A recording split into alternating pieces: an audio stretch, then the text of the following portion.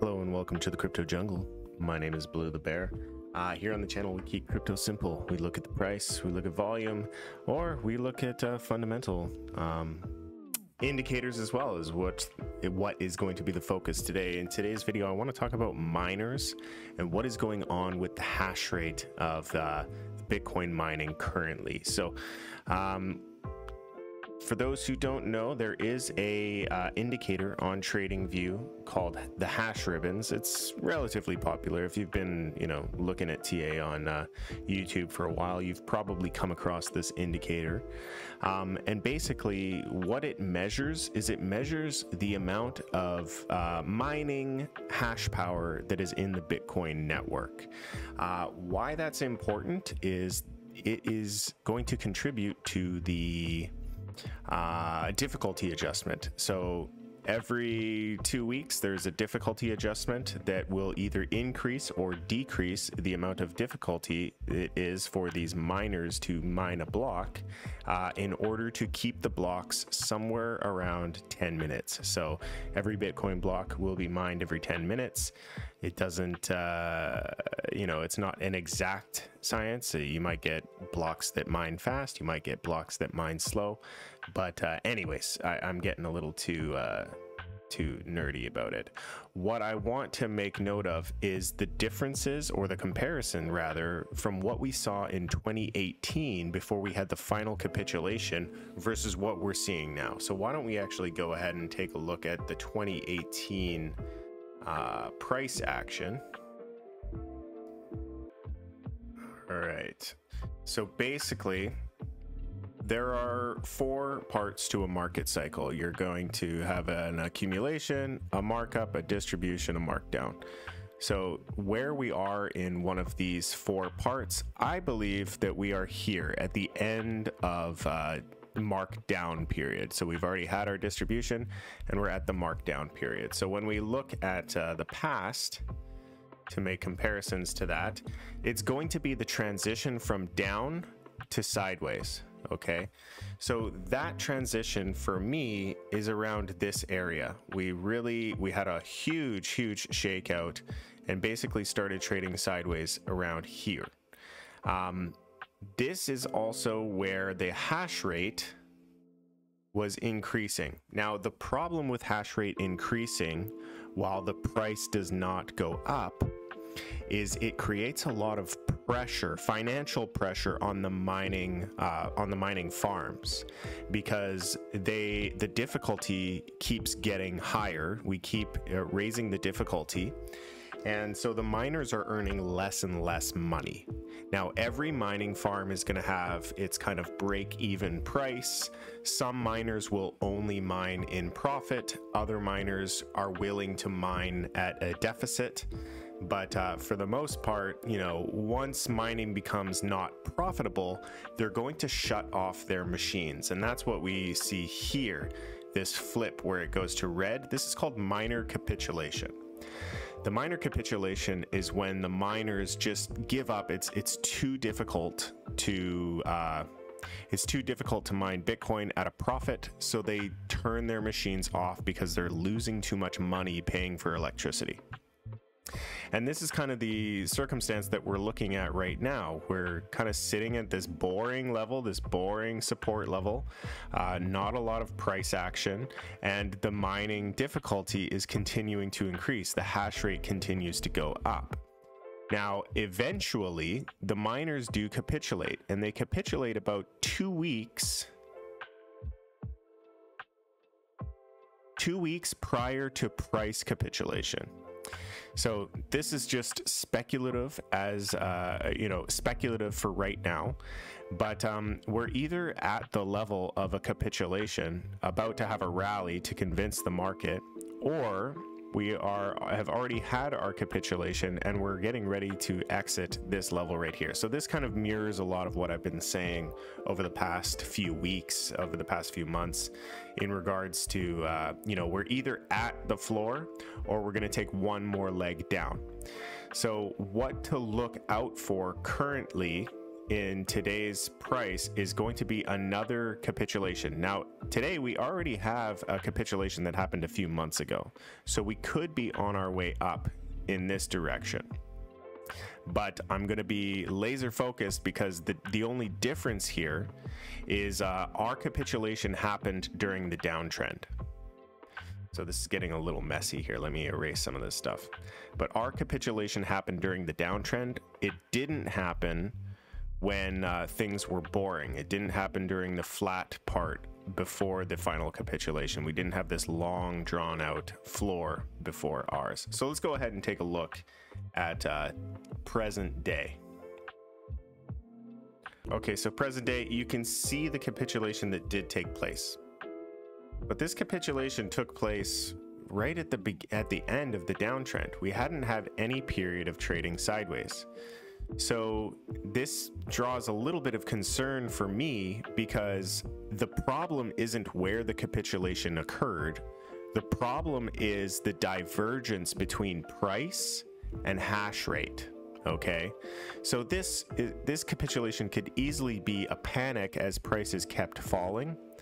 Now we're at a boring part of the market cycle where we're just trading sideways, but the hash rate is still climbing. This is a problem. This is what puts pressure on the miners. This is what puts a lot of, uh, it basically squeezes miners out of competition. They can no longer compete depending on their energy costs and depending on how efficient their mining farm is. Now, I will say, this is ultimately a positive thing for the Bitcoin network. A lot of people will say, oh, this is, you know, we can go into a death spiral. No, there's always going to be miners that can mine Bitcoin. There's always going to be somebody that can afford to do so.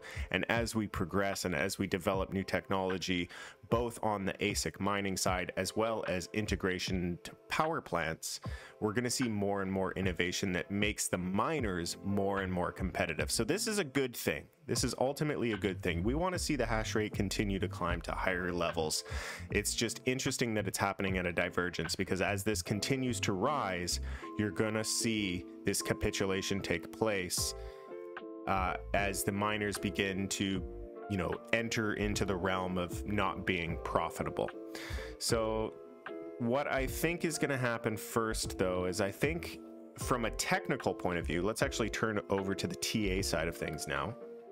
From a technical point of view, I think we're quite oversold. I mean, it's very hard to look at much and not think that it's oversold. Um, there's not a lot of room to the downside from a technical point of view, is what I'm trying to say. So I do think that a recovery rally is possible and even a little bit probable. When we look at this, uh, we have kind of our double bottom formation here on the daily. So, and this is happening at, you know, just uh, getting close to the 50 on the RSI. So 50 on the RSI is where momentum begins to re enter. So there's a possibility that we could have a momentum shift here. And then when we drop down to the smaller time frames,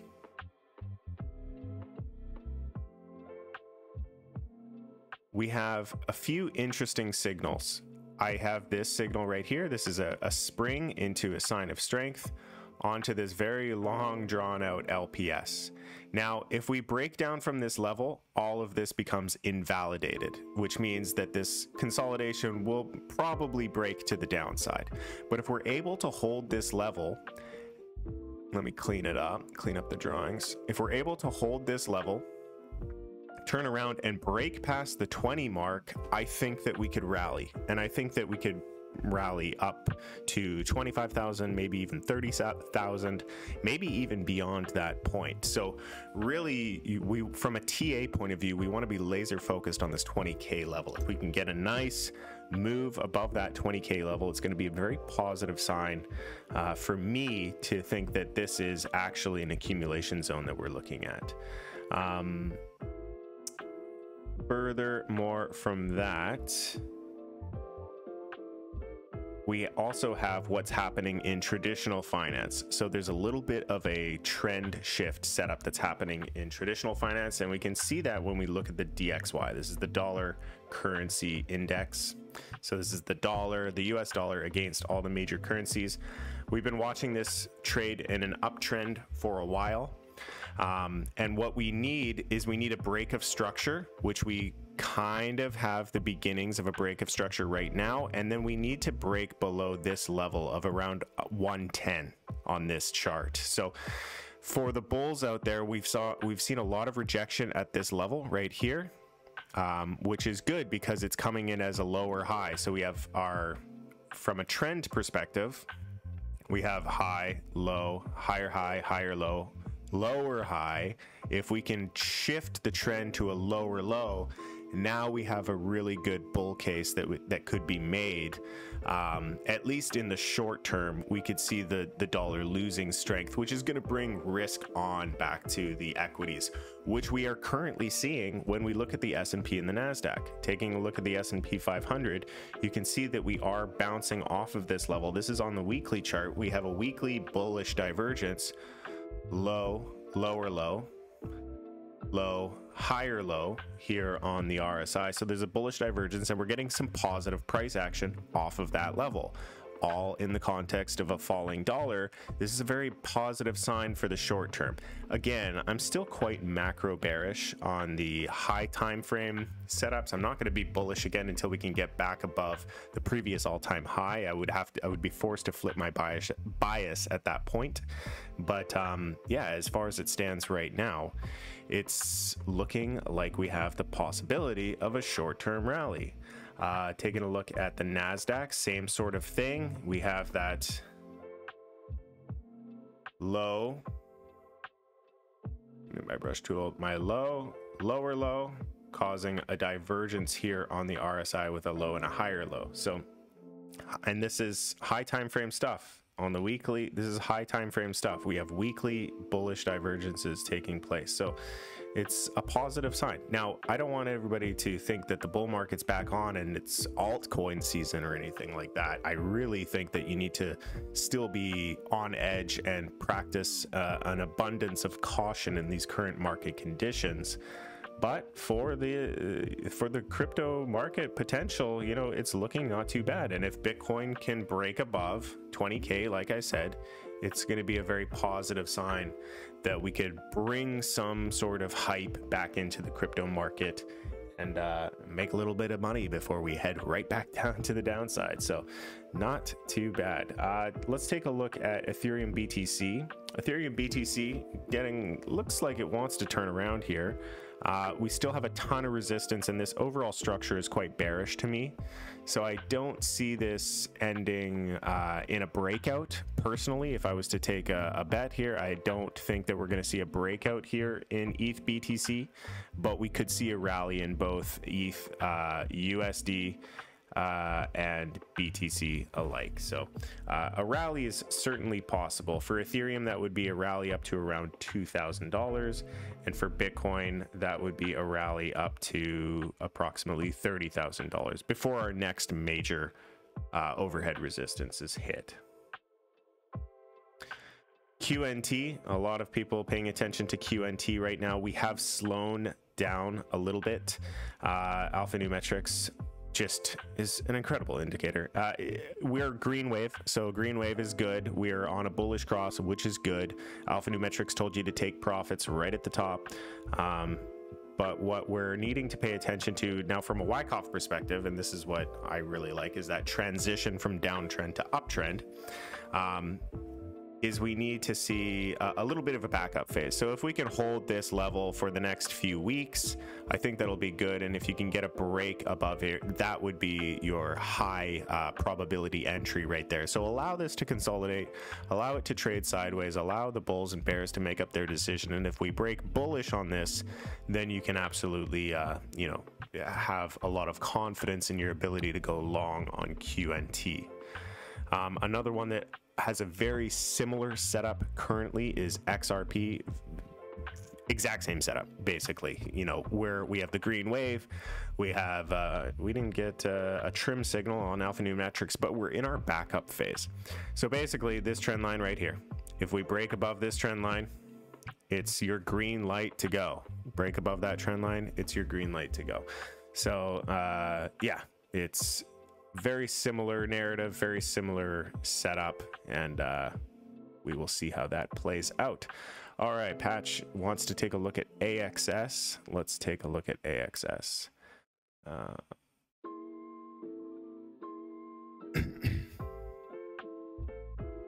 AXS. Now, all things metaverse and all things play to earn is probably not going to be very good. Um, they're just they're just not doing well. Uh, AXS looks like absolute shit. Looks like shit. Uh, there is a change of character.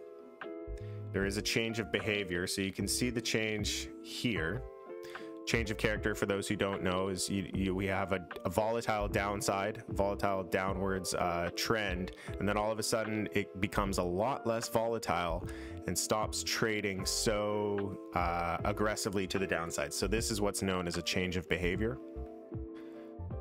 or a change of character in Wyckoff and this could indicate the early uh, points of an accumulation so if AXS is in an accumulation, you're basically just going to watch that trading range. So let's actually put a, a, real trading range around it, not my sloppy drawings. Yeah, so we're just, we're trading sideways. So until this can break above the channel, there's really no reason to go long. Also, the narratives out there right now for, you know, anything metaverse, anything play to earn, you know, a lot of people lost a lot of money on anything play to earn. So there's still a lot of uh, negative sentiment that needs to be overcome from that. So, you know, please understand that uh, things will take time. Things will take time to repair. Oh, it's interesting. I just noticed that my comment section is not functioning properly. Um, oh well, okay. Whatever. Um, yeah, so you know this will continue inside of this channel. Once you get a break out of that channel, then you can begin to pay attention. But as it stands right now, you know, not great. Alphanumerics, anything nice to say on Alphanumerics? No, nothing at all. Uh, we're below the seven on the three day. We are below the seven on the weekly. It's it's a pretty there's no there's no sign of a momentum shift just yet. Doesn't mean that we can't get one in the next few weeks, but as it stands right now, this is a very unhealthy chart that doesn't show much promise for price appreciation in the short to medium term. It's going to be a long grind before this can turn it around.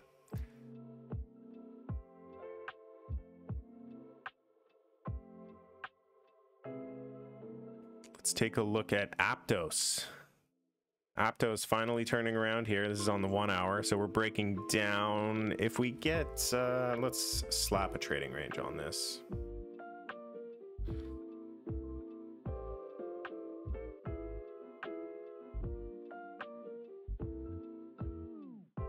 Yeah, I think if we start to break below this trading range right here, it's probably going to head to the downside.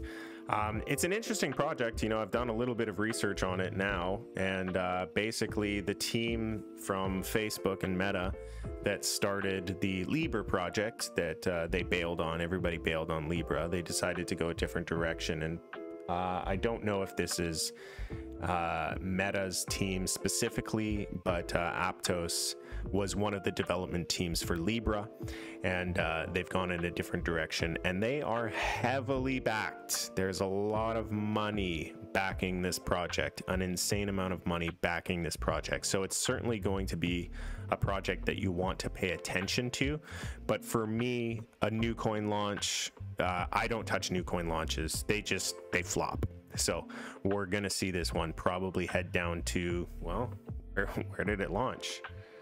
It's got a low at one buck. I wouldn't be surprised at all to see it go back down to a buck. So, you know, you got a good 80% retracement, in my opinion, if it is typical, if it follows the typical trajectory of what new token launches do, we're going to see about an 80 to 90% correction. Um, at that point, we'll begin to trade sideways, and then that's when I'm going to start paying attention to this one. But for me right now, you know, you might get some volatility to the upside, you might get some volatility to the downside. It's really, there's not enough data to really get a good handle on where this thing will land. So for me, not touching it. It's uh, not recommended, but uh, yeah, it looks like we're getting a bearish cross here on the hourly. We'll see how that plays out. Any other projects you guys want to take a look at?